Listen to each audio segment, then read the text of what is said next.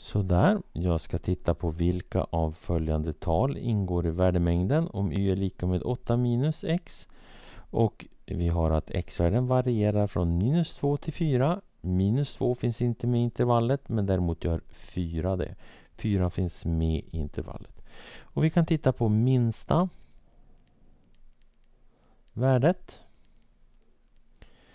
Eh, vi har en linjär funktion, vi har minus x här och minsta värdet får vi ju när x-värdet är ett så stort positivt tal som möjligt, alltså 4. Så det får vi x lika med 4. Då får vi att y är lika med 8 minus 4 som är lika med 4. Så det minsta värdet är 4.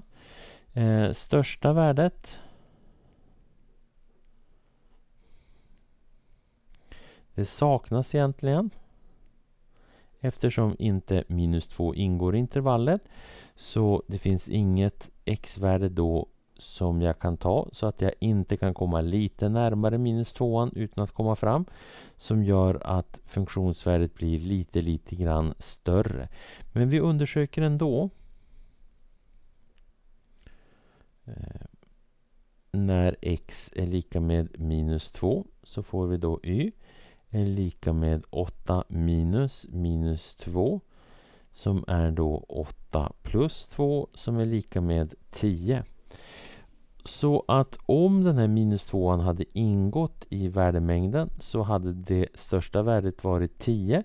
Men nu så ingår ju inte minus 2 i intervallet men däremot tal som ligger väldigt, väldigt nära den. Men det gör oavsett hur vi ser på det att den här tian inte då kommer att ingå i intervallet. Utan de som ingår kommer att vara 4 och 5,5. Så svar?